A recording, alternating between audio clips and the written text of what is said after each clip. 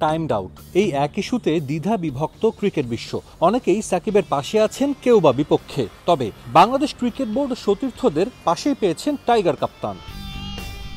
স্রোতের বিপরীতে ছিলেন একজন অ্যালান ডোনাল্ড। সাকিবের সিদ্ধান্তের সমালোচনা করে এসেছেন শিরোনামে। বিসিবির সঙ্গে চুক্তি শেষ হতে বাকি অল্প কিছুদিন। তারপরও তার বিরুদ্ধে অ্যাকশনে যাবার প্রস্তুতি নিচ্ছে বোর্ড। দলের সঙ্গে মানসিকতা মিলছে না। মাঠে সবার সঙ্গে তার দূরত্বটা স্পষ্ট। মহারাষ্ট্র ক্রিকেট অ্যাসোসিয়েশন স্টেডিয়ামে দেখা মিলল দল থেকে বিচ্ছিন্ন এক অ্যালান ডোনাল্ডকে। মাঠে দল অনুশীলনে ব্যস্ত, কিন্তু ডোনাল্ড একাকি হেঁটে বেড়ালেন মাঠ জুড়ে। দলের কোনো কিছুতেই যেন তার কোনো আগ্রহ নেই।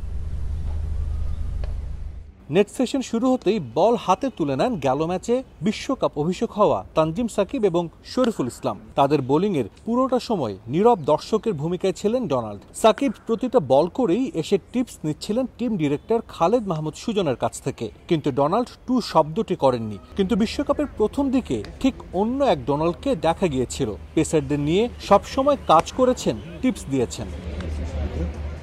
অনুশীলনের প্রায় পুরোটা সময় পেস বোলারদের কাছ থেকে নিজেকে দূরে রেখেছেন দক্ষিণ আফ্রিকার কিংবদন্তি পেসার। চুক্তির মেয়াদ শেষ না হলেও হয়তো টাইগার ড্রেসিং রুমে আর মন টিকছে না তার। নতুন খবর ডোনাল্ডকে আরও অন্তত এক মাসের জন্য চাইছে বিসিবি। এ মাসের শেষেই তার চুক্তির মেয়াদও শেষ হবে। নিউজিল্যান্ড সিরিজে দলকে কোচবিহীন অবস্থায় রাখতে চায় না বোর্ড, যার কারণে হেরাথ ডোনাল্ড সহ অধিকাংশ কোচিং স্টাফকেই একত্রিশে ডিসেম্বর পর্যন্ত চুক্তি বাড়ানোর প্রস্তাব দেওয়া হয়েছে। এদিকে গুঞ্জন আছে, বিসিবির সঙ্গে চুক্তি শেষে ডোনাল্ড দায়িত্ব নিতে চান শ্রীলঙ্কা দলের পেস ডিপার্টমেন্টের। যদিও এখনও কিছু চূড়ান্ত হয়নি। তবে দুয়ে দুয়ে চার মেলানো সহজই বলা যায়। নতুন চাকরিদাতার প্রতি আনুগত্য প্রকাশ করতেই কি সাকিবের বিরুদ্ধে গিয়ে বক্তব্য দিয়েছেন ডোনাল্ড?